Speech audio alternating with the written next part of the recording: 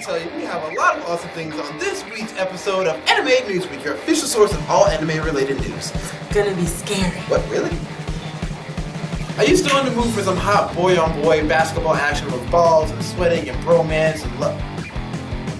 said on that. But anyway, the reason why fangirls are seeing swooning there when, you know, it's because, you know, I, I, I, I get you, I get you. But anyway, really, real talk.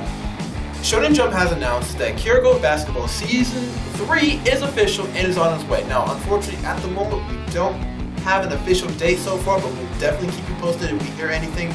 Also, I'm personally excited to see the rematch of Kais. Also, we get to see Midorima versus the Emperor's Eye, the leader of the Generation of Miracles. But let me know what you guys think in the comments down below. So Wren's favorite all-time horror manga, I'm a Hero, is being turned into a live-action movie in 2015. So I'm a little torn because I kind of stopped reading it for a while. Follow me on Twitter, you noticed that I was like reading it at night. It's getting a little scary, so I had to like turn it off, and I can only read during the daytime now. But it's still really awesome. Yo Oizumi is going to be playing the zombie hunter, the unlikely hero of this story, who goes through the town basically with a shotgun, doesn't even fire it until like way later, because he doesn't understand, because no one ever had zombie movies in zombie movies. But he's going to be playing the main character, and I think he's going to really bring that character to life.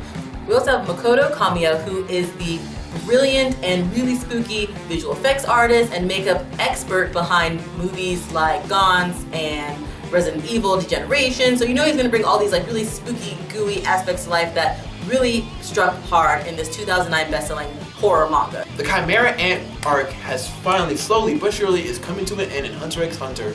And my personally favorite arc is coming up with Alluka and the Zodiacs. And actually, you can see right here a sneak preview of what they look like in their anime design, which look beautiful. Personally, I like Snake. Snake's black. Did you know that? Snake's a black character, which I highly approve because she is so sultry. Also, they have Alluka Zoldyck, my personal favorite Zoldyck. I would like, I want to, as much as I want to fanboy and tell you why, it is kind of a spoiler and I don't want to take the impact away when you find out what he can really do. But do check it out and also let me know what you guys think about it and what you're excited for at the comments down below. No Game No Life has been in the news a couple times in the past couple of weeks. I mean, we go to MomoCon and come back, and they're all over the place. First of all, the creators of the anime had to apologize for stealing a design for a magical circle that they found from amateur artist Ikkakujuu, which means unicorn, um, that they had in episode 7 of the show. So once the artist found out he was not that happy, went online, tweeted it, and they actually offered an apology and said they were going to take the design out of the Blu-ray and DVD edition how did it happen that a big show like this stole somebody's random online? That seems like plagiarism, right? Well, whoops, they used it as a reference, but end up copying the whole thing. You know, magical circles all look the same. No one's gonna notice, right? Uh, no, you need to really be careful with that.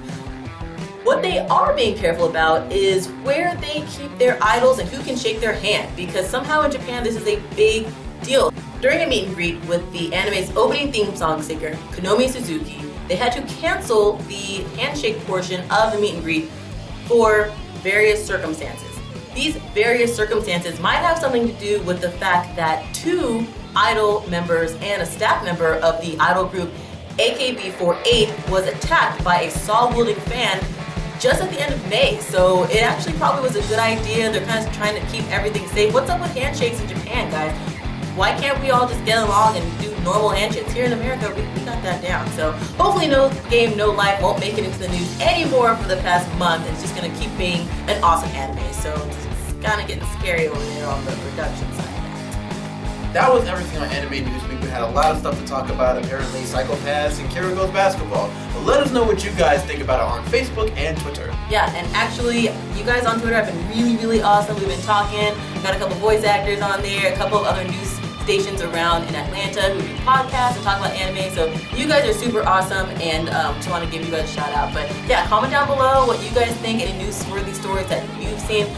Follow us on Twitter and uh, also on Facebook. You catch some really cool pictures that you can post there. Also, really quick, we just we're at MomoCon. I know we've been telling you guys about it for a thousand times, but we actually have all of our MomoCon footage up and running. Don't forget to check that out, like and subscribe. This is the Manga Knight. And Little Wren. Signing off.